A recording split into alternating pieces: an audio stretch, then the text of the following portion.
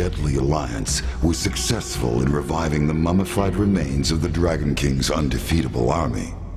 It would appear that nothing could stand in the way of Shang Tsung and Quan Chi as they began their domination of the realms. Unfortunately for Shang Tsung, however, Quan Chi had no further need for the partnership. Once Shang Tsung had finally revived the last of the mummified warriors, Quan Chi closed the portal to the heavens and effectively shut off Shang Tsung's endless supply of souls. Quan Chi then instructed Kano to assassinate Shang Tsung in a surprise weapon attack. With their captor cut wide open, the thousands of souls Shang Tsung had consumed in the past spewed forth and swirled around the room. Quan Chi came to the realization that if Kano could so easily turn on Shang Tsung, he could also turn on Quan Chi himself.